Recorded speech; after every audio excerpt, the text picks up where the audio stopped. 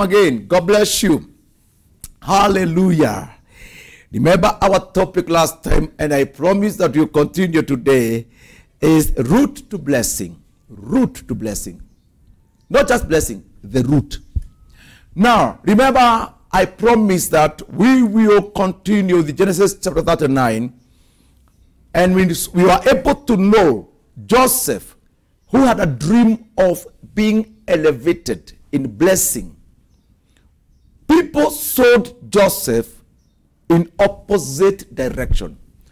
An elevated person with kingship favor is being sold to be a slave by men. You could have landed into that. Some people who are poor, serving in some of these companies, getting very little income. That's where society has put you. But I would like you to know this. You need to arise now in your dream so that the dream you speak and you break the yoke of the devil, the yoke of your tribe, the yoke of your personality, and the yoke of men around you. Yes, people think you can only earn 200, maybe $200 in a week.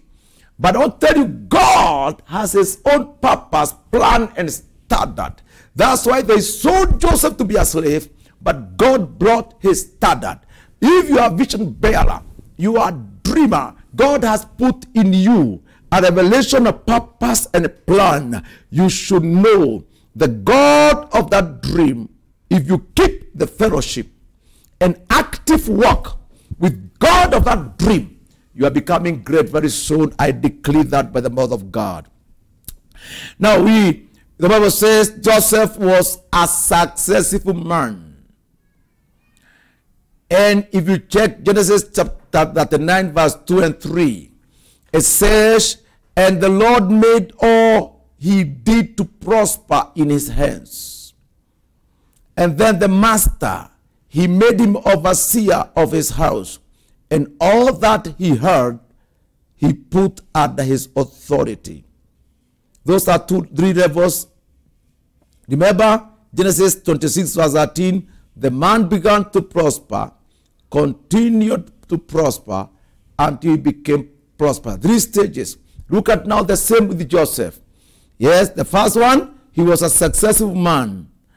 And, and number two, whatever he laid head on prospered. And number three, until he was made the overseer of everything. I pray if the three stages worked in Joseph, if the three stages worked in, in Isaac, I now, by the authority of the living God and the blood of Christ, remove you from stagnation. And I now forcibly, by God's authority, put you into a progressive life of prosperity. Like Isaac began to prosper, continue to prosper, become very prosperous. Like Joseph, you are a successful woman. Number two, whatever you lay, you're a successful man or woman, whatever you lay hands on is pro prosperous. And until the world will allow you to lay hands on everything, and God will bless you. When you get that level, what the devil wants to kick away from you is the God of your dream. And men and women church, please know the secret of your blessing. Keep, keep the fellowship. Keep the identity. Keep the side. Keep the favor, the presence of God of your dream. How does the Satan fight against that? If you check Genesis chapter 39, verse 7, I, I said verse 7 has a unique statement.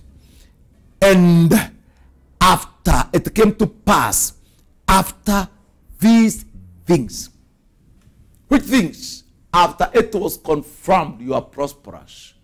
After it was confirmed the favor of blessing is with you. After it was confirmed that whatever you do with your hands prospers.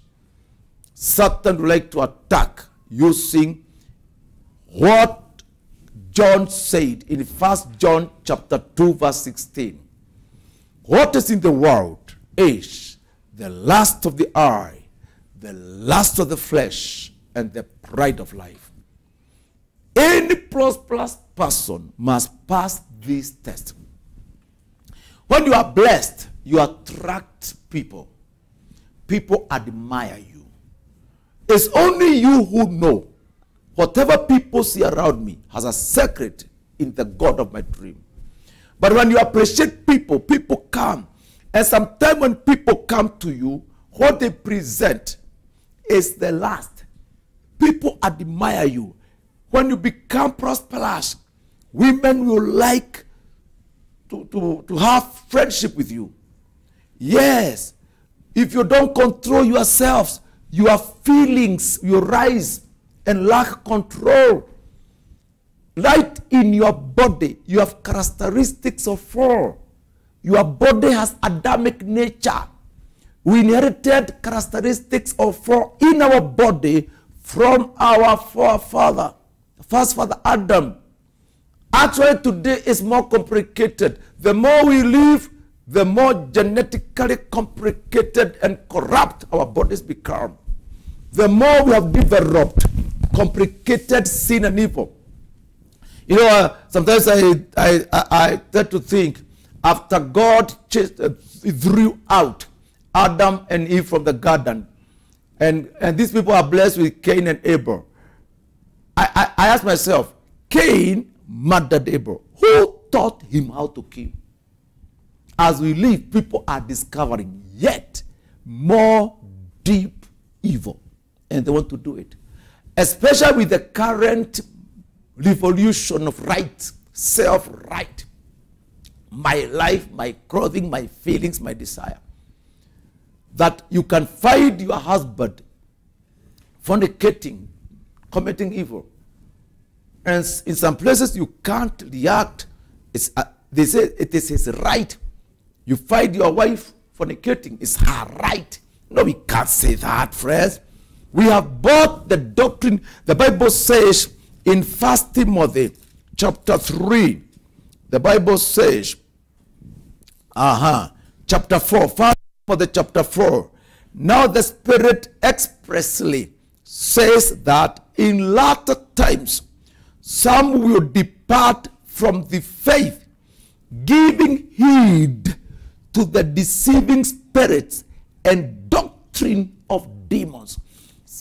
Part of the doctrine of demon is extreme worship of feelings, claiming it is my right, my right, my right, and I can do what I want. And you know, in our body, Adamic nature, the body is cleaving for yet more chances of lust. The other day they had bestiality, now they have bestiality. You know, people are complicating and it's becoming more evil. People want to do sex in yet more complicated demonic way. Bible says people will follow the deceiving spirits and you take heed to the doctrines of demons. We need to be very careful of what the Bible say the lust of the eye. Adam and his wife fell in the three ways. Lust of the eye, lust of the flesh, and the pride of life. What Adam and Eve used to call death because of lust, because of lust and heeding, heeding.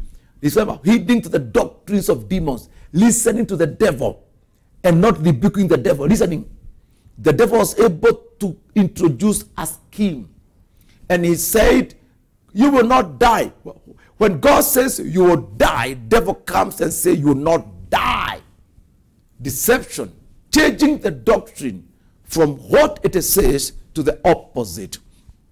And Bible says the woman looked at the fruit, that fruit that God had forbidden, and saw how it will make her great lust of the eye.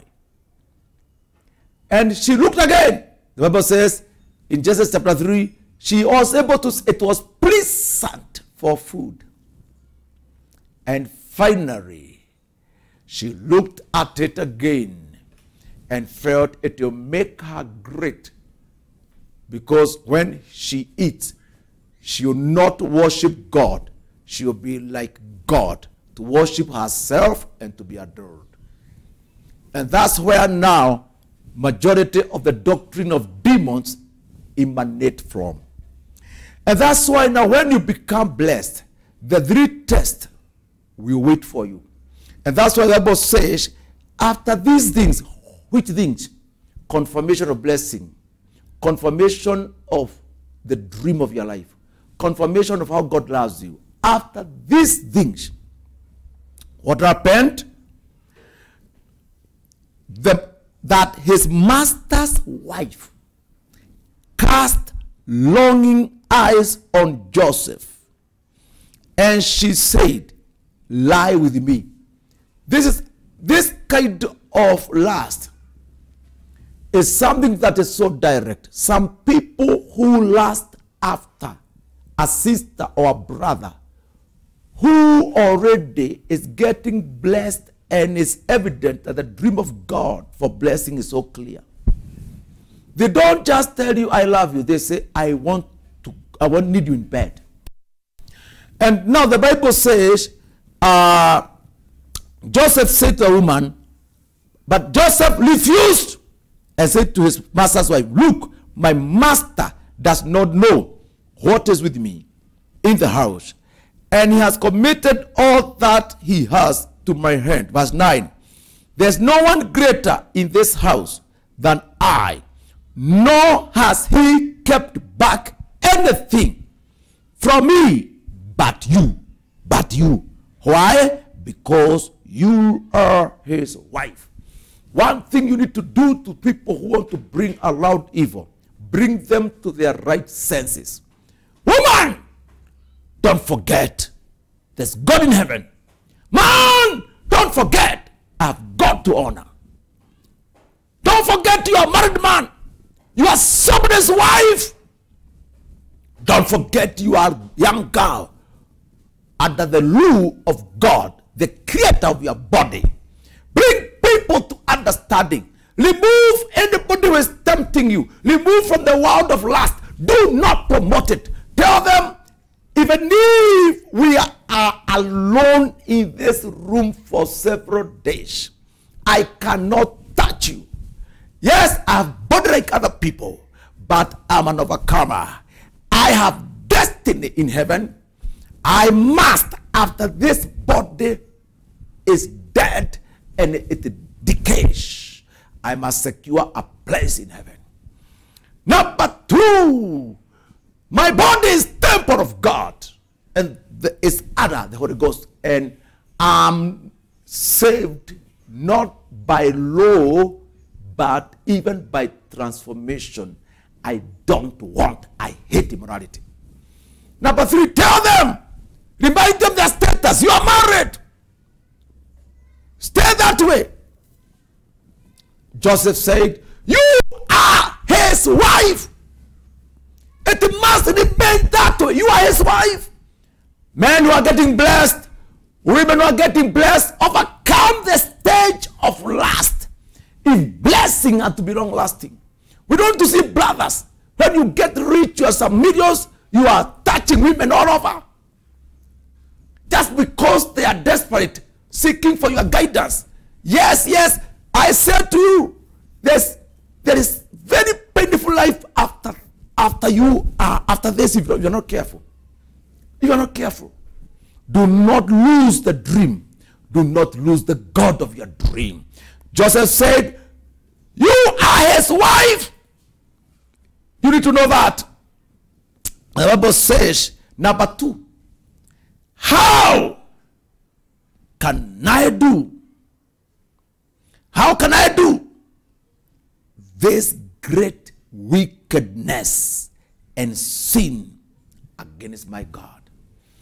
I want every man and every woman to memorize this verse and make it your verse or a statement in your mouth, in your body system, in your hands, in your memory, in your imagination. It says, How then can I do this great wickedness and sin against God. Any businessman have that statement in your mind. Yes, you are being tempted, but say, How can I do such great wickedness and sin before God? I can't. Practice that. Because if you pass the test of the lust of the eye, lust of the flesh, and pride of life, you are going to leave an inheritance to your children. You are going to retire peacefully and prophetically. I can imagine when you be old, although you not be able to move around, your health will still be healing. We'll be inviting you to bless our youth. We'll be inviting you to share with us the dream and how you overcame.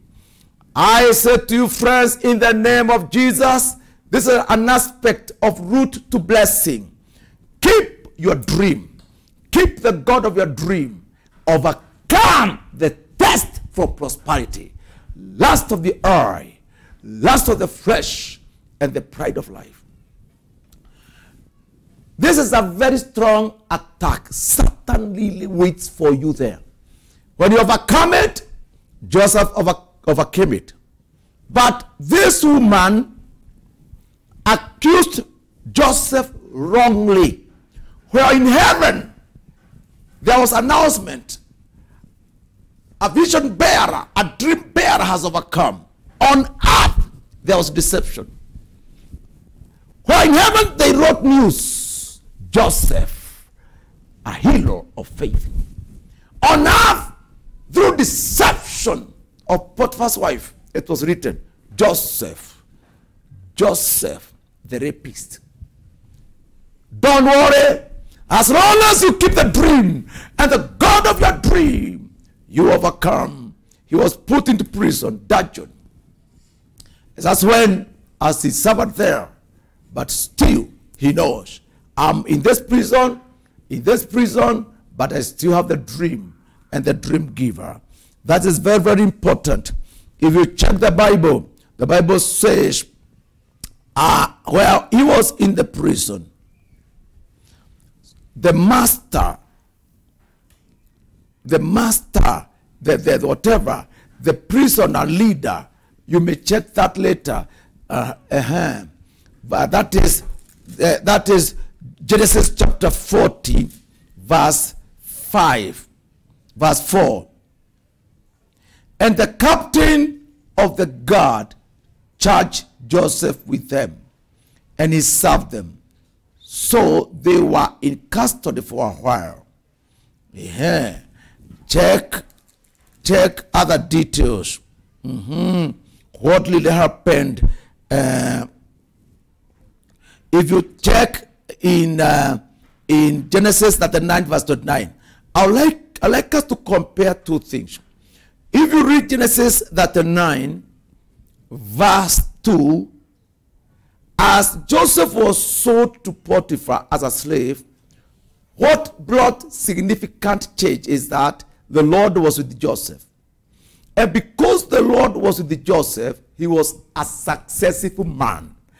Now, if you go now to his life in prison, the same thing, verse 29, verse 21, Genesis 39, verse 21. But the Lord was with Joseph.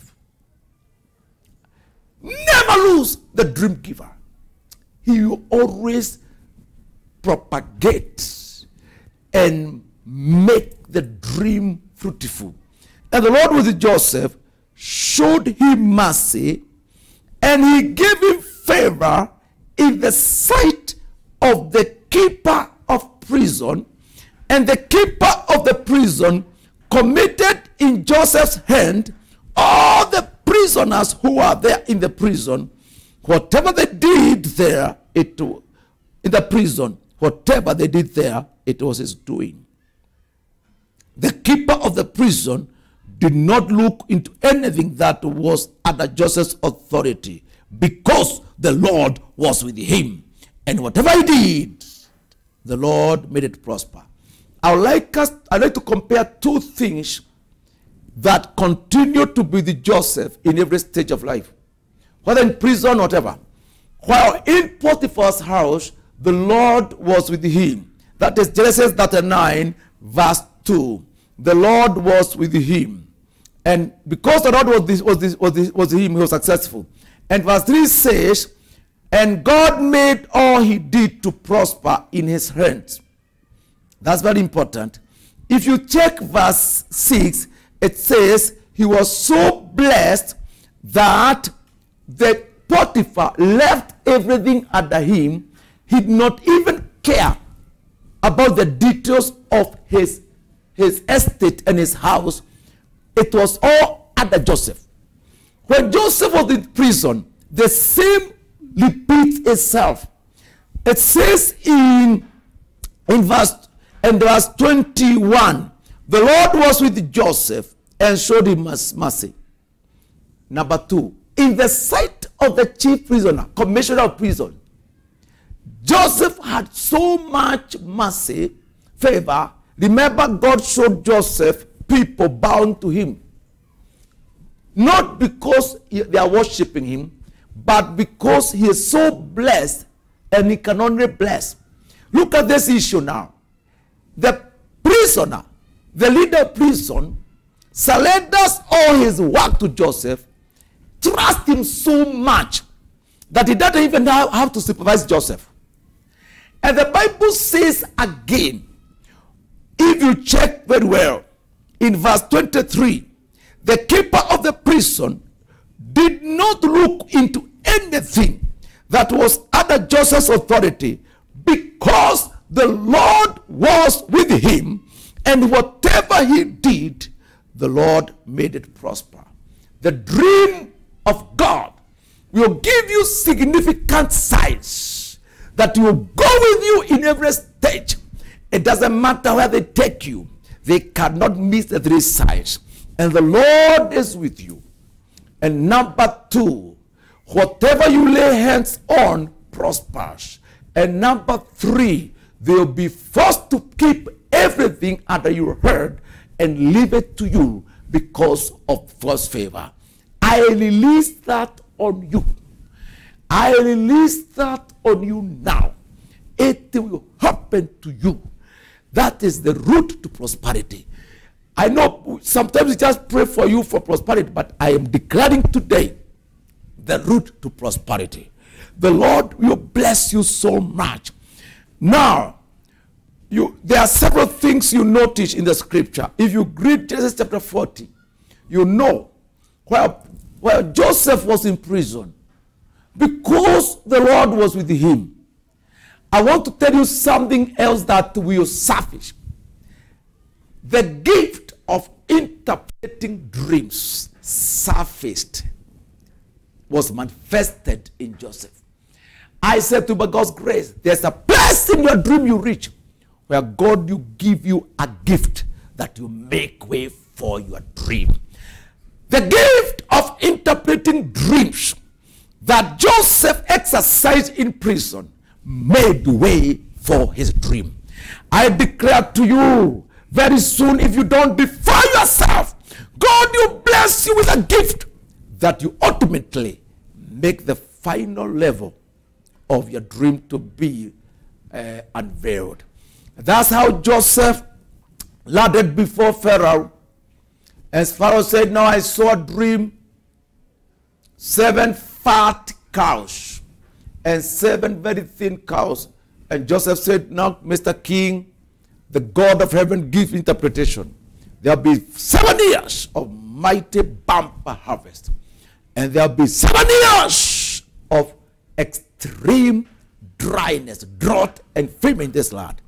You need to get people to take care, to keep food.